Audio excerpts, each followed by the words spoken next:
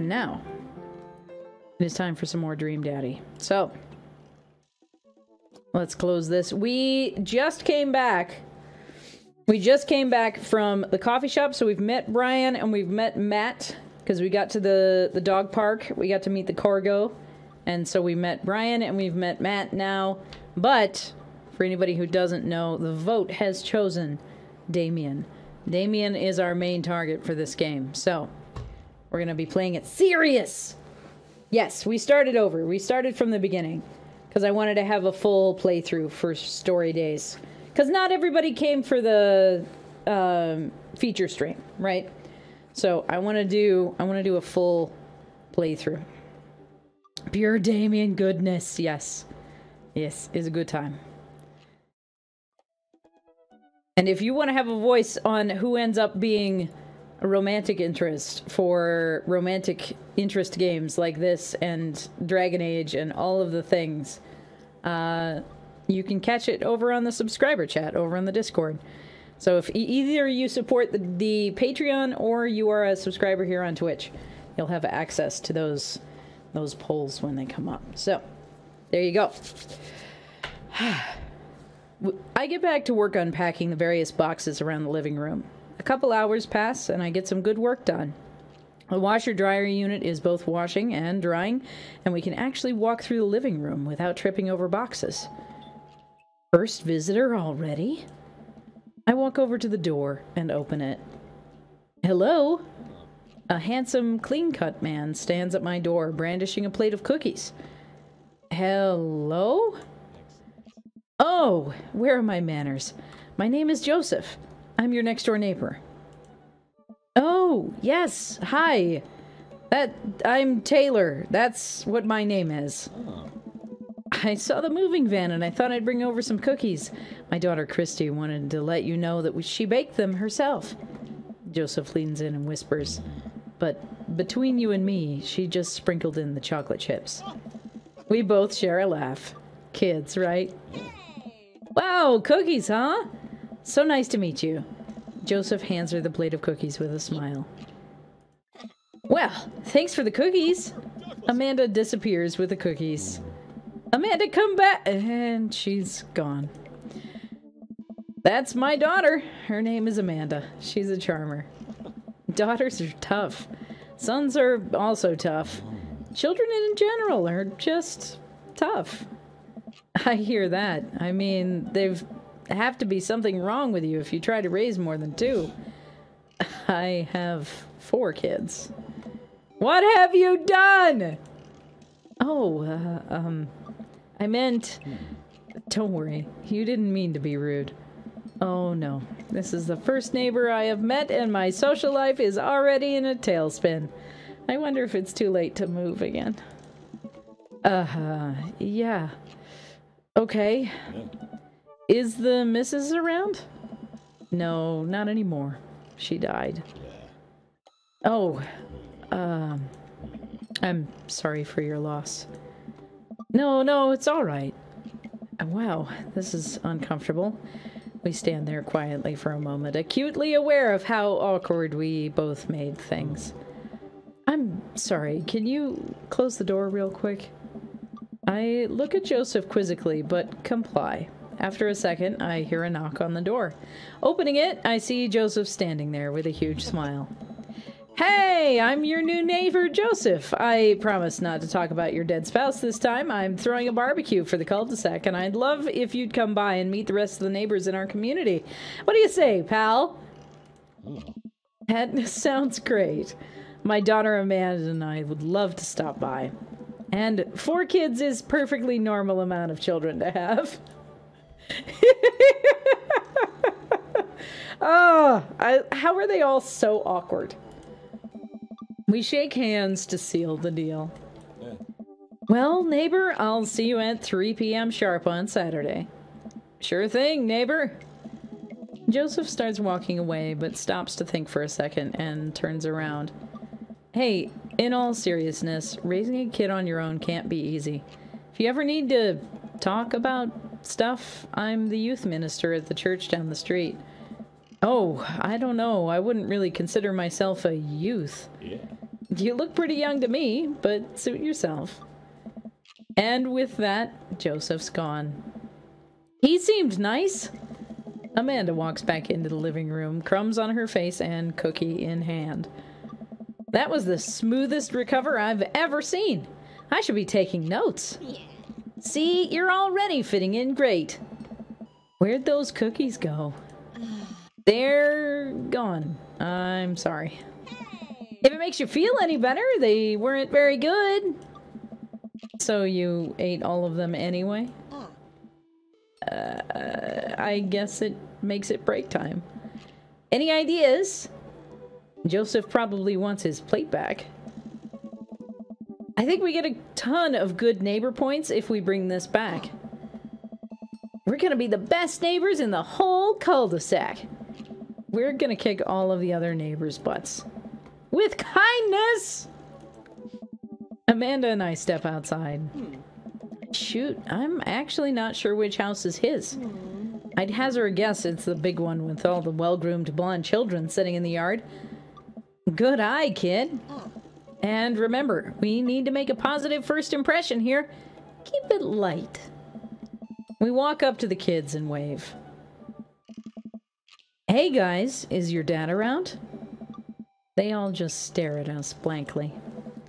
We just wanted to, uh, return this nice plate, and thank you for the cookies. Geez, these definitely are Joseph's kids. They all look exactly like him. Except for the dead eyes. Terrifying. Hey. They were really good. I mean, I heard they were good. I didn't get to eat any. I chuckled nervously. Hmm. Well, okay, we're just gonna set this plate down on the ground real gentle and then back away slowly, right, Dad? Right. That's what we're gonna do. The kids' eyes bore into us as we scurry away. I can feel their gaze on my back even as we approach the house. Oh.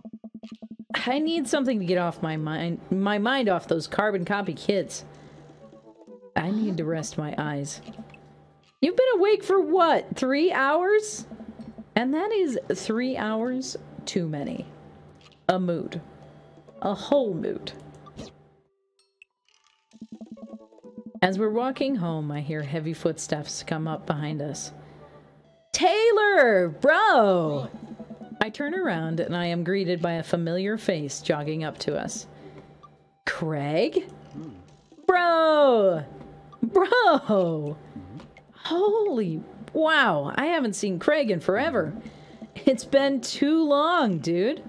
Yeah, wow, you look great. yeah, I cleaned up my act.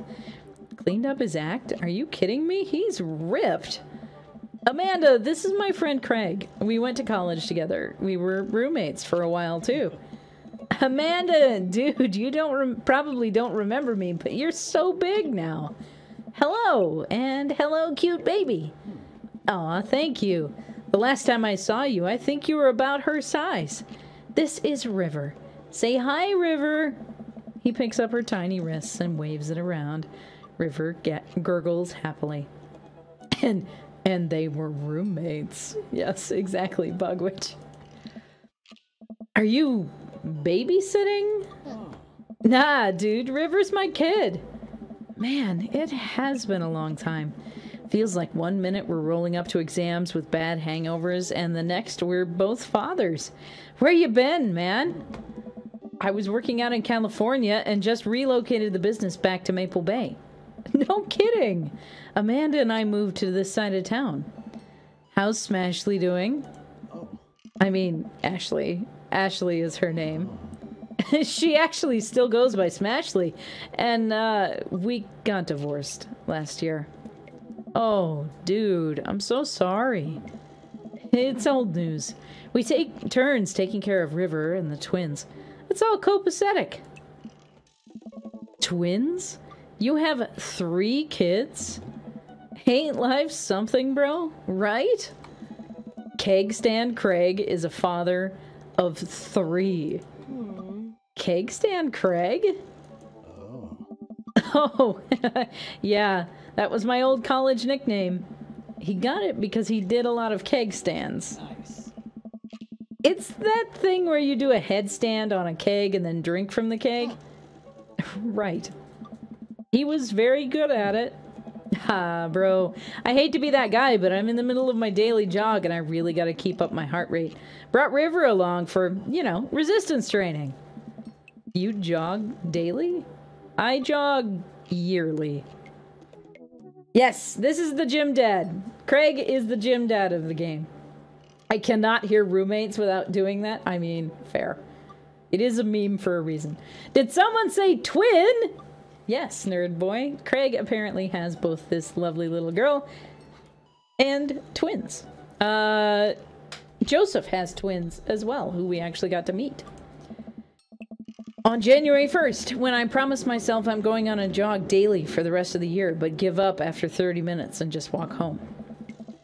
Well, it's never too late to get back to it, dude.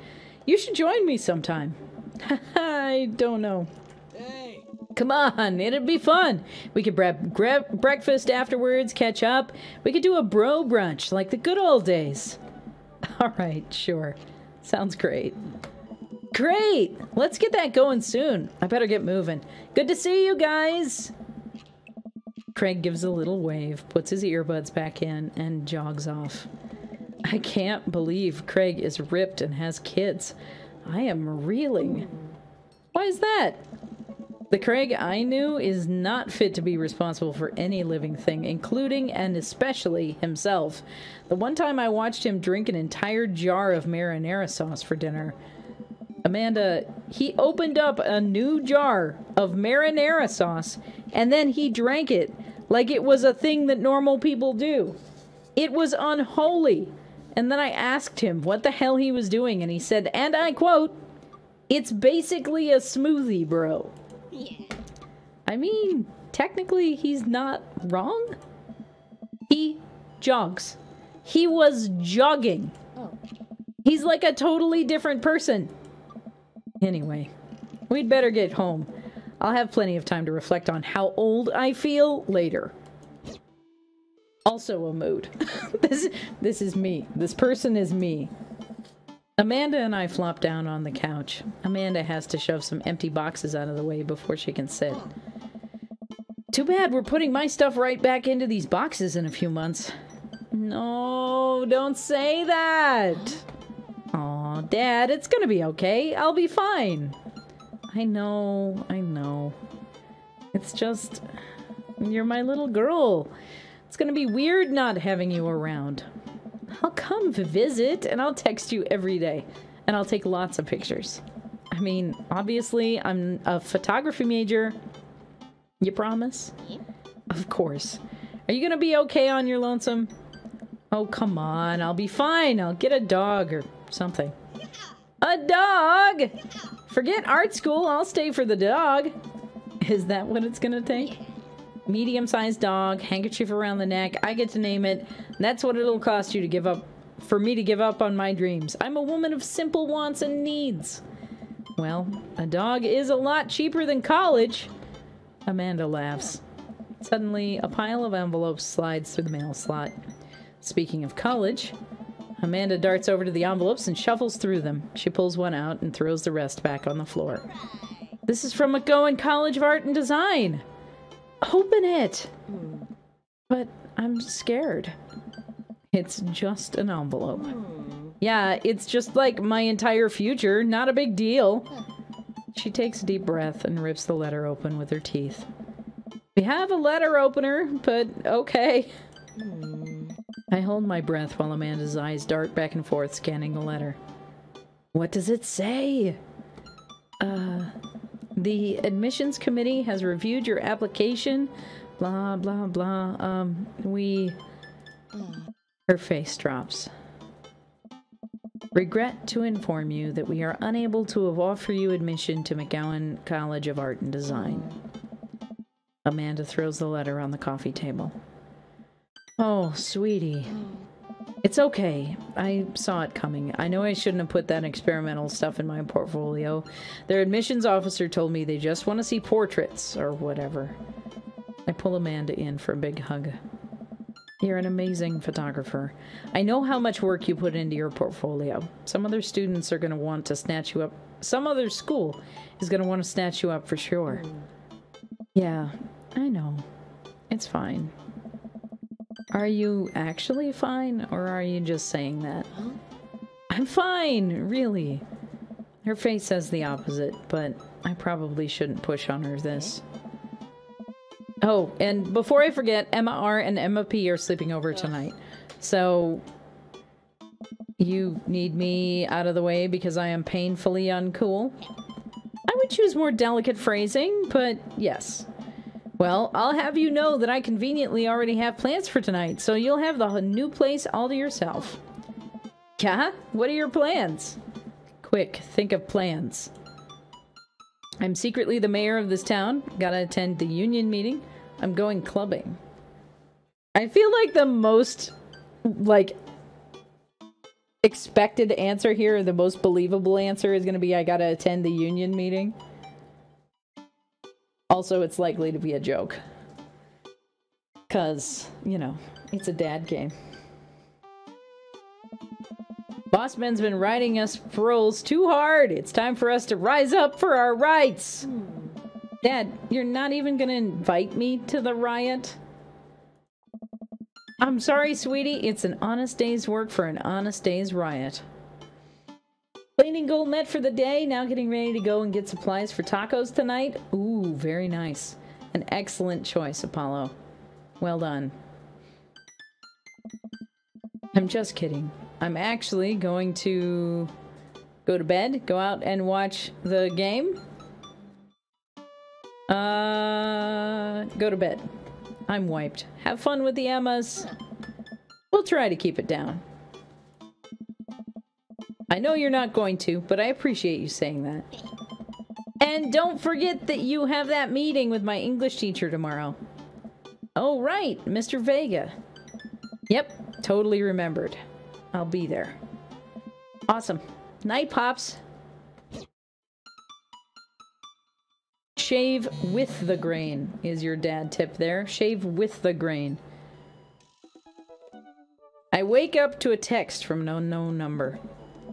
Rise and shine, early bird. Still want to work out? This is Craig, by the way. Holy crap, it's 6 a.m. Who does 6 a.m. anymore? Without realizing it, I drift back to sleep. Whoops, must have winked back out. I checked my phone again.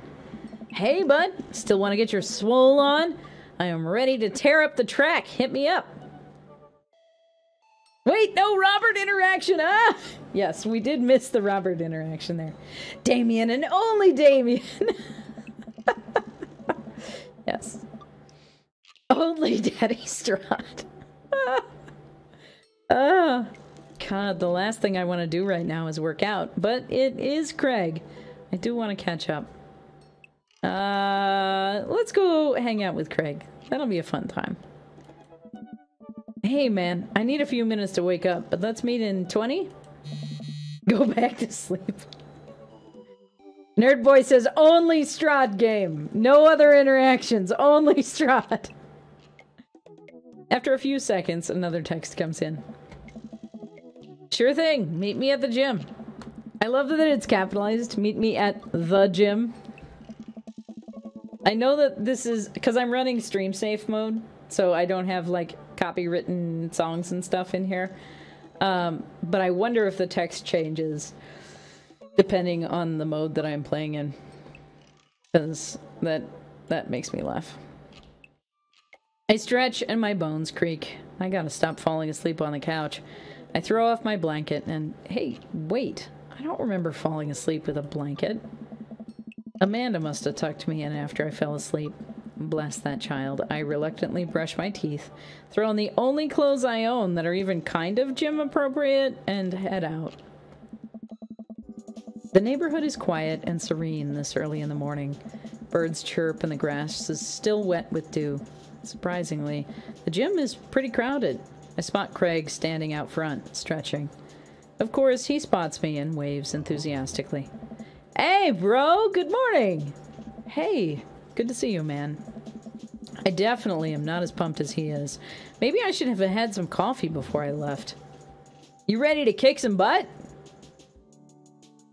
Gotta stay posy, dude. With your help, I am. Help! I like I like help the best here, I think. That's good. I like it. Yeah. Help! Especially because we definitely chose the like round body model for for Greyfort.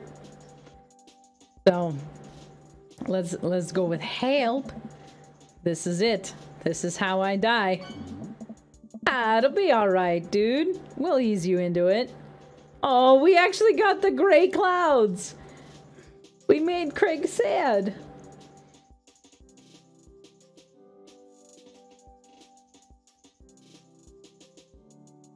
With your muscly arms. He does have the muscly arms. Yeah, poor Craig did not like that. No, Belinda, why did you do this? Because Nerd Boy says Strahd and only Strahd. We head into the gym and I am immediately intimidated. All of these people look like they could break me in half. And it seems like Craig is friends with all of them. He high fives and finger guns all of the cool jocks in the room. They look like they could and would steal my lunch money to spend on protein shakes. Come on, bud. Let's warm up. We head over to the treadmills and start walking. Okay, I can walk. Walking is good. This is a decent place to be. Walking. So I know we are on treadmills. Yes. And those over there are ellipticals. Very good. What is all of this other stuff? Craig laughs. They might look a little scary, but I guarantee that all of them serve a specific purpose for building muscle mass. I watch as a dude in a muscle tee flexes a muscle that I didn't even know existed on a machine I think was once used to process grain into flour. What is that? Why is that guy doing that to himself? That's a good question, bro. What do you think he's doing? Training to crush people's skulls with his thighs, using a medieval torture device, praying to some sort of pain god. Crush people's skulls. He's he's trying to make his thighs so strong that he can crush people's skulls with them? Bro. Yeah, that's pretty much the only reason I work out. Oh no, Craig is turning up the speed. I'd better do the same. How, uh, how long have you been doing the buff thing? Couple years. And what do you do when you're not dadding or working or buffing? Oh, I coach my twins softball team. That still counts as both dadding and buffing. Uh, I keep busy. What do you do for fun? I love learning. I try to live my life as close to Jimmy Buffett's song as possible. I check out my hot bod. I feel like I feel like Greyfort is a is a learning kind of guy. I think that's the vibe here. I try to educate myself about the world around me. I'm like a sponge for knowledge, soaking up all of the intellectual content. You know, history, the paranormal, wilderness survival, uh, aliens. Mostly those things. So you watch the History Channel too, huh? Maybe I'm scared now. Yes. Yes. We're jogging now. Oh god, we're jogging now. Craig likes the History Channel! That's awesome. I'm here for it. I love it. I look over to Craig, who hasn't even broken a sweat. How is he doing this so effortlessly? I am dying, and I can feel my life force draining through every orifice of my body. Hey, remember when my fish died in college? Uh, no, I don't like this story. Uh, Oh my god, he really is bumping up the speed again. I guess I'd better do it too. Oh, this is fast. This is very fast. And uh, we were at that party, and you vowed to make me feel better. You tell me to create a distraction. So, of course, I had to do a sick keg stand and get everyone cheering. And then I uh, try to steal a fish from the fish tank at the party with my bare hands, like an idiot. And then you drop the fish and it's flopping around and you panic, so you run up to me post keg standing with a dying, dirty fish on your hands and scooped off the ground, and you're yelling at me that we have to leave. So we're running out of a frat party with a fish and trying to give it mouth to mouth resuscitation. We get him home and get him into a bowl of water, but the prognosis was grim. Listening to this in the background, I am torn whether this is the way real people talk or some AI bot plucked this, these sentences at random. I think these sentences actually feel very natural. I like the dialogue of this game so much. The writers knew their stuff, and everything seems great. Anyway, compared to Shadows. Real lesbians TM, yes. Oh my gosh. Also, where is my dream mommy game version of this? Thank you. Oh my gosh. I don't know. Has Game Grumps done that yet? Do you think do you think it would play well? Could be fun. But yeah, I would say this dialogue is way more natural than Vampire Shadows of New York because Shadows of New York was awful. And the next day he's uh, alive and well. They never did catch the great fish thieves of Grand Ridge U. And they never uh, will. I shoot off the end of the treadmill and crash into the wall. Jesus, that hurts. Dude, bro, are you okay? Craig offers me a hand and looks me over for injuries. I'm fantastic. I manage to stand up and rub my back. Doesn't hurt now, but I'm sure it will later. Oh, you don't have to push yourself like that. Always know your limits. Well, I think I might call our gym adventure here. You sure? Yeah. All right. Well, here. I brought you this. Craig hands me a shaker bottle full of a thick green liquid. I stare at it with what must must be apparent distaste. It's a protein shake, bro. Oh, thank you. Me on a treadmill, yeah. Bro? Bro! Bro! yes. He wants me to drink it. Oh boy. Here goes. I take a small sip. It's actually delicious. Wow, this is really good. And good for you. It's my special recipe. I'm pretty proud of it.